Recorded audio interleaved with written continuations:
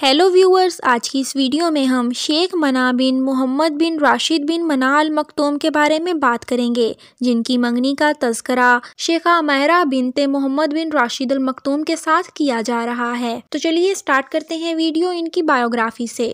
इनका पूरा नेम शेख मना बिन मोहम्मद बिन राशिद बिन मना अल मखतूम है और इनका निक नेम मना है। इनका जन्म 2 जनवरी उन्नीस सौ सतासी को यूनाइटेड अरब अमारात में हुआ। और 2023 के हिसाब से इनकी एज 36 साल है। प्रोफेशन से ये एक बिजनेसमैन है। इनकी नेशनैलिटी यूएई और इनका रिलीजन इस्लाम है। बात करें इनकी हॉबीज़ के बारे में तो शेख मना को ट्रैवलिंग करना और घोड़ों के साथ वक्त गुजारना काफ़ी ज़्यादा पसंद है। इसके अलावा इन्हें फिशिंग का भी काफ़ी ज़्यादा शौक है।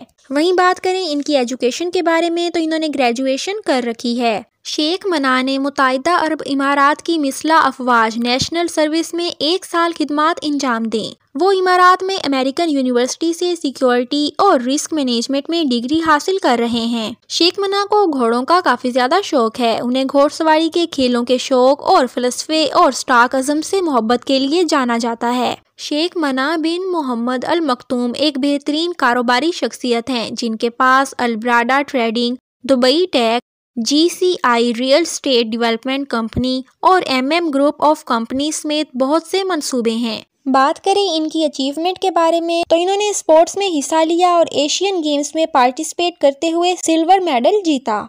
इतलात के मुताबिक शेख मना बिन मोहम्मद बिन राशिद बिन मना अल मखतूम की मंगनी शेखा मायरा से हो गई है, लेकिन ये बात अभी तक कोई भी ऑफिशियली तौर पर अनाउंस नहीं हुई। इसीलिए इसे अभी ऑफिशियल न्यूज़ नहीं कहा जा सकता। तो अब हम बात करते हैं इनकी फैमिली के बारे में। इनके फादर का नाम शेख मोहम्मद बिन राशिद बिन मना अल मखतूम है। तो वहीं बात करते हैं अब इनकी नेटवर्थ के बारे में। साल 2023 की रिपोर्ट के मुताबिक इनकी नेटवर्थ 15 बिलियन है। तो ये थी व्यूअर्स हमारी आज की वीडियो। कैसी लगी आपको शेख मना की वीडियो? हमें कमेंट करके ज़रूर बताएँ।